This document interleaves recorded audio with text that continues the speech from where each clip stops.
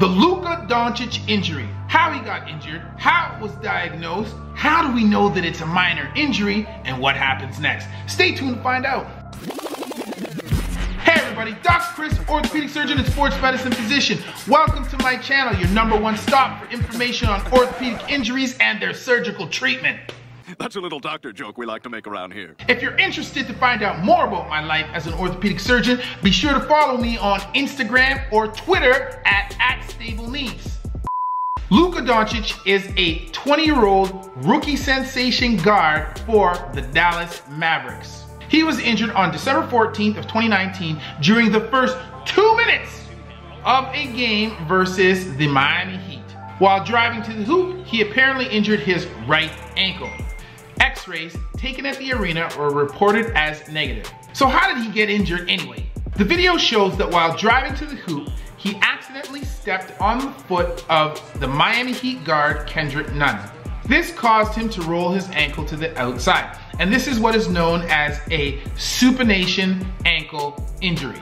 This type of mechanism can lead to injury of the ligaments on the lateral or the outside aspect of the ankle. These ligaments include the ATFL or the anterior talofibular ligament, the CFL, the calcaneal fibular ligament, the PTFL or the posterior talofibular ligament, and finally, the syndesmosis, which is the ligamentous tissue which joins the tibia to the fibula at the level of the ankle.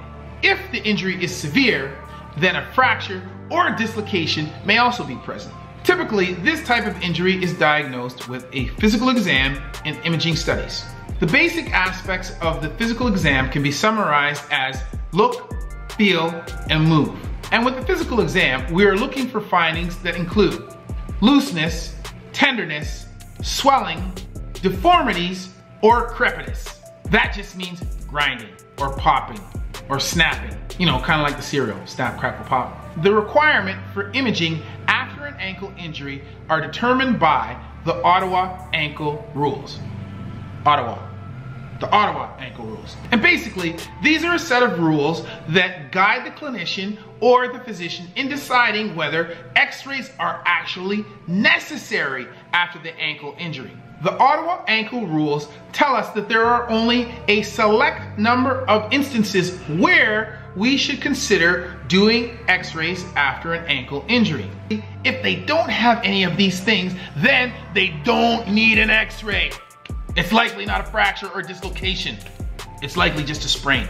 Because this is the NBA and because Luka has the possibility of being an MVP in only his first season, I think they took the x-rays to be extra cautious. The media reported that the x-rays were negative. However, they did not state whether they had also performed a stress view of the ankle. A stress view is an x-ray that is taken while the clinician or the physician is attempting to open up the space between the tibia and the fibula. Normally, the syndesmosis will hold this space together and will not allow the space between the tibia and the fibula to be opened up. However, if there is a syndesmotic injury, then when you perform a stress view, this space will open up or widen, telling us that the syndesmosis has been ruptured or injured. If the physical exam and the stress view x-rays reveal that there is no syndesmotic injury, then we can anticipate that Luka will be able to return to competitive play within 10 days to six weeks with appropriate rest and rehabilitation. If, on the other hand, there is a syndesmotic injury, then a surgical procedure may be required to stabilize the syndesmosis and a longer period of rest and rehabilitation will be required. Hopefully, Luka has the former and not the latter, and he'll be able to return to playing basketball quickly and without complications.